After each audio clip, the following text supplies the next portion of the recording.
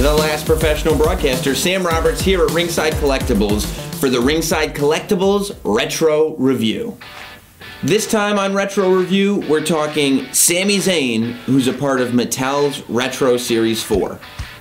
Now, Mattel's Retro Series is heavily based on the Hasbro series that guys like me grew up with. But what makes this Sami Zayn figure unique is that unlike most Hasbro figures, and unlike most of Mattel's retro figures, leg articulation in Sami Zayn, look at that.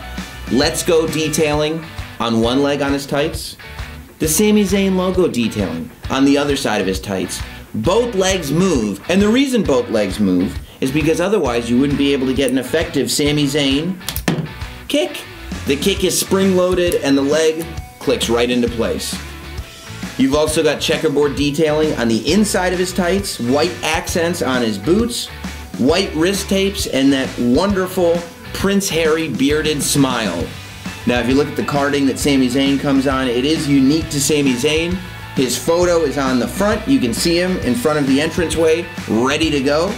On the back, You've got all of Mattel's Retro Series 4 and Sami Zayn executing that kick onto Ric Flair. And of course, like all of Mattel's retro figures right now, Sami comes with this stand that you can use with the app that's got the Sami Zayn logo right on the front. Sami Zayn is available along with all of Mattel's Retro Series 4 and the beautiful Mattel Retro Ring available now at Ringside Collectibles WrestlingFigures.com.